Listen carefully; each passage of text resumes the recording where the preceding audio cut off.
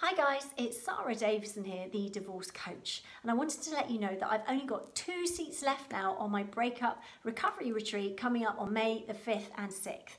So if you are going through a breakup or you know someone that's suffering from heartbreak, separation, or going through a really tough divorce right now, this is a great way to start taking back your control and feeling good again. I give you skills, techniques, and strategies on how to cope better with all the different things that come with a breakup. It has a ripple effect on your whole life. I know I've been there. And everything I teach at the weekends is based on my own personal divorce experience, but also my 22 years of coaching. So it's a great place to be. It's a very empowering weekend. If you want to come along, please click the link. Um, as I said, I've only got a few seats left and I've extended the early bird offer to the end of this week. So have a look, check it out, and I really hope to see you there. Take care.